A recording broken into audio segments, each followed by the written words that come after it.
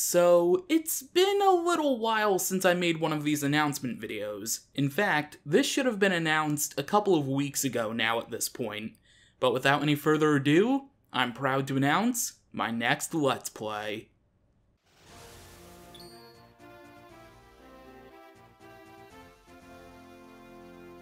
The Legend of Zelda The Minish Cap will begin tomorrow. This will mark the third Zelda Let's Play I have done, and for some reason all of them have been three years apart. So this is one of my other favorite handheld Zelda games, and it's a really unique one. I'll get into more of that, why it's unique, throughout the series itself.